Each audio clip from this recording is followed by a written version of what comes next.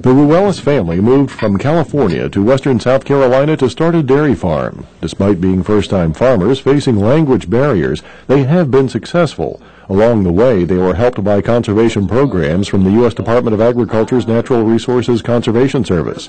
Arnold Ruelas helps his father, Victor, around the farm.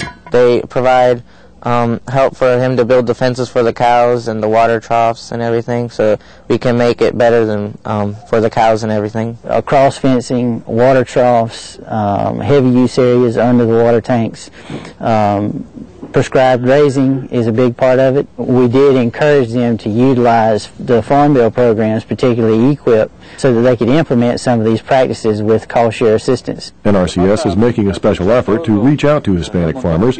The agency wants to make sure these farmers understand that there are USDA programs available to help them protect the environment. They are doing an excellent job in this uh, farm because they believe in conservation they believe in, in water quality. They believe in, in keep the natural resources. As for the language barrier, it was easily overcome through cooperation to reach common goals. The language barrier is not that difficult. The Ruelases speak, uh, in my opinion, very good English. I have a limited knowledge of Spanish, not enough to be conversational, but enough to be able to understand. For the U.S. Department of Agriculture, I'm Bob Ellison.